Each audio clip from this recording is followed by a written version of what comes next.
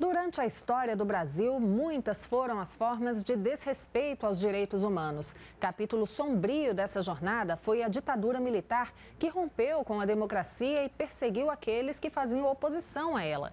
O ministro dos Direitos Humanos e da Cidadania, Silvio Almeida, visitou nesta sexta-feira um memorial da resistência de São Paulo e defendeu a manutenção da memória para o fortalecimento democrático do país o maior museu de história dedicado à memória política das resistências e da luta pela democracia no Brasil, o Memorial da Resistência de São Paulo, guarda em seu acervo objetos, peças de arte, documentos e imagens que registram e retratam os fatos ocorridos na época em que o país era submetido à ditadura.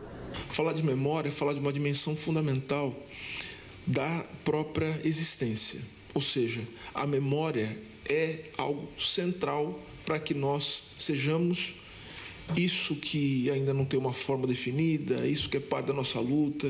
Eu estou falando aqui de humanos, de humanidade.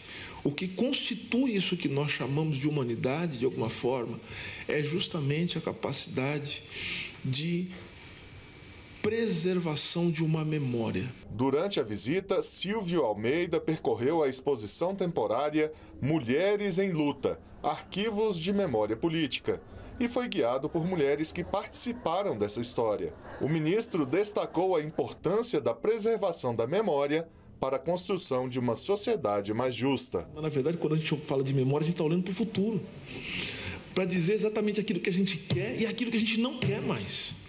Por isso que é memória, é verdade, a memória e a verdade, elas se juntam com a necessidade da justiça e da reparação.